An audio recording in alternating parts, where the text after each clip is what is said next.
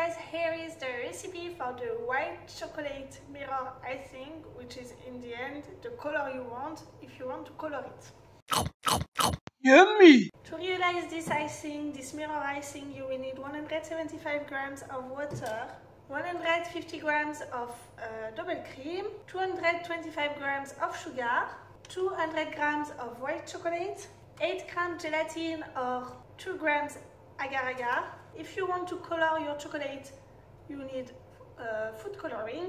And finally, this is not an obligation, but it gives a better effect in the end, some uh, liquid glucose. So first step, you will soak your gelatin leaves in the cold water for minimum 10 minutes. Okay, you will add in the pan the sugar, the water, some glucose, uh, liquid glucose if you've got it. Once it's boiling, you add the cream and once it's boiling again, you just remove it from the heat.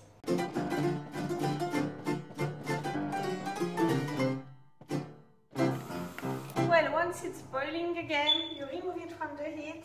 You drain the gelatin leaves and you add it in the cream mix with the white chocolate.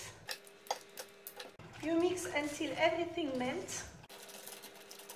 Once everything is melted, it's time for you to add the food coloring if you want some color in your icing.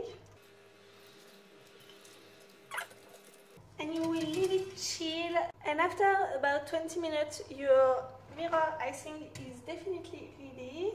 The perfect temperature to use it is 27 degrees. If like me you don't have anything to measure the temperature, you put the finger in there. If it burns, it's not okay. If it's lukewarm, it's okay.